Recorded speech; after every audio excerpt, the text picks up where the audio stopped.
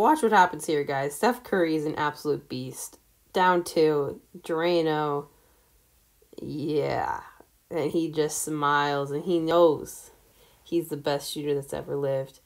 Those guys don't know what just happened. He's like, What do you want me to do, coach? And simply can't do anything about that. You gotta put three guys on Steph and just hope he misses because with the caliber of Steph, you literally can't do anything about that.